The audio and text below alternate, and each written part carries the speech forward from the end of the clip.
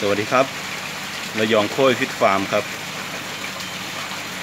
ตอนนี้กำลังทำการย้ายปลาออกจากบ่อกักโลกนะครับ ลงสู่บ่อเลี้ยงบ่อใหญ่นะครับชุดนี้ผมใส่ยาไป 3 โดสนะครับ ซึ่งจริง ๆ แล้วต้องใส่ถึง 6 โดสนะครับ ใส่ไปเพียง 3 พอแล้วก็เดี๋ยวตามไปดูแลกันในบ่อใหญ่อีกทีหนึ่ง เพราะว่าจะมีปลาใหม่เดินทางเข้ามาเรื่อยๆนะครับ ซึ่งบ่อกักที่นี่เราเป็นฟาร์มเล็กๆนะครับ มีบ่อกักที่จำกัดพอสมควรนะครับจะมีบ่อกักโลกอยู่เพียงแค่ 3 ที่นะครับสามบ่อนะครับบ่อปูน 2 บ่อแล้วก็บ่อพยางอีก 2 บ่อนะครับส่วนในบ่อนึงยังใส่ปลากักโลกอีกชุดหนึ่ง